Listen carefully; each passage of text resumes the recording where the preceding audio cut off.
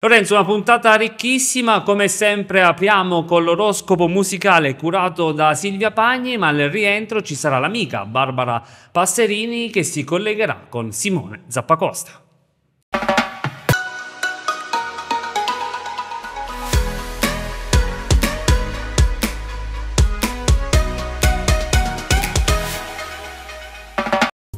Bentornati all'oroscopo musicale buon venerdì. Vado subito a conoscere l'artista di oggi, perché a novembre, sotto il segno dello scorpione, nasceva un attore, un attore non bello, bellissimo no, di più, ultra bello.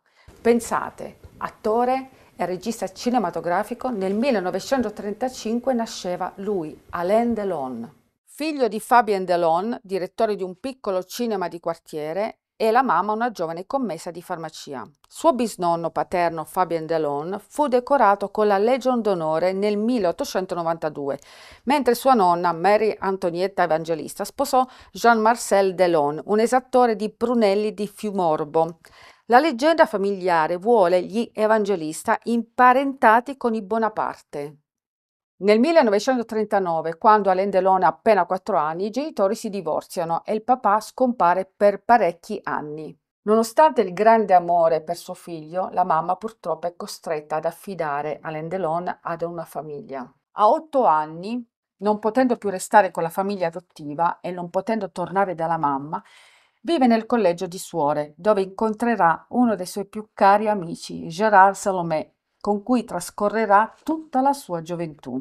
A causa del suo carattere perennemente ribelle, dovuto per sua stessa ammissione al trauma subito dalla separazione dei genitori, ottiene brutti voti a scuola e per questo motivo è costretto a cambiare diversi istituti.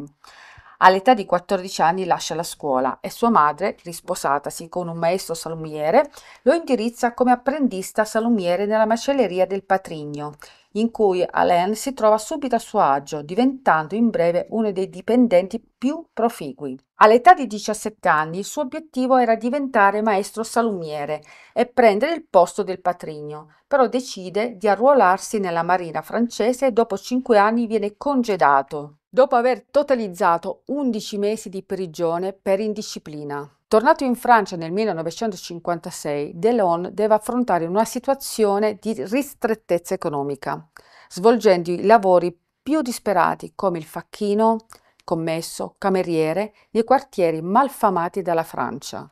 Grazie alla passione per la giovane attrice Brigitte Aubert, si allontana da questo mondo e fa la conoscenza dell'attore Jean-Claude, che lo invita al Festival di Cannes dove la sua bellezza candida e allo stesso tempo glaciale non passa inosservata. Si trasferisce a Roma dove condivide l'appartamento con Gian-Paolo Barbieri, che diventerà un famoso fotografo e gli viene proposto un contratto che lo potrebbe portare a Hollywood a patto di imparare l'inglese. Fu comunque consacrato come il più grande attore del momento e anche come l'uomo più bello del mondo.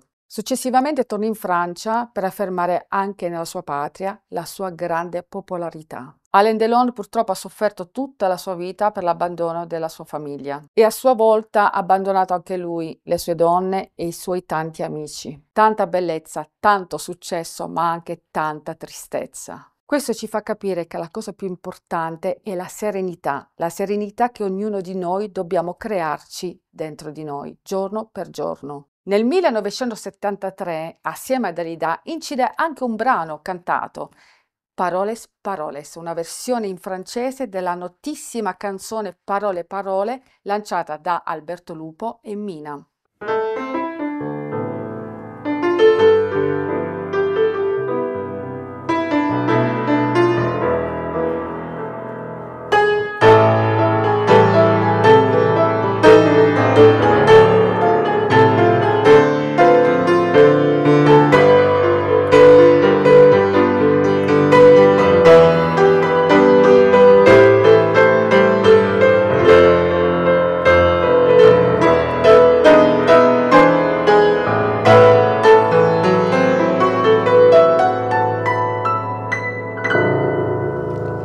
E anche per oggi abbiamo terminato con l'oroscopo musicale. Vi aspetto in tantissimi lunedì e per il momento vi auguro un buon fine settimana. Ciao!